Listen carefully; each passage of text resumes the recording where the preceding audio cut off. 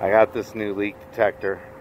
Um, it's going to replace the H10. Um, no, they no longer make the H10 in a plug-in model, and I've had the other model where um, the unit charged by a charger.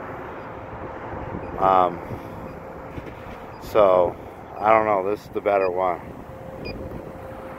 They say so. Let's see what we got. Let's try this pressure switch. Oh, look at that. That's the pressure switch. I've checked most all of it. But look at it. It's hitting the pressure switch way up here. See?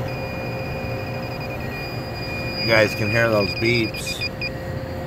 So far, yeah, I'm impressed. This one's found a few uh, places where the gas was not working correctly. And this one's the Inf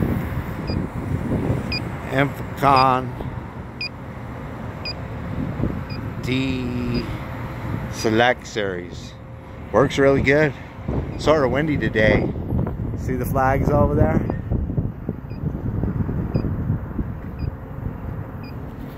I don't have my good camera, so. But I just wanted to do a review. Because I know everybody loves their H10 that's my favorite the halogen H10 plug-in.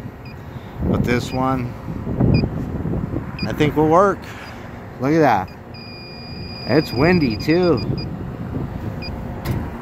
It's hitting and it's windy. Hey thanks guys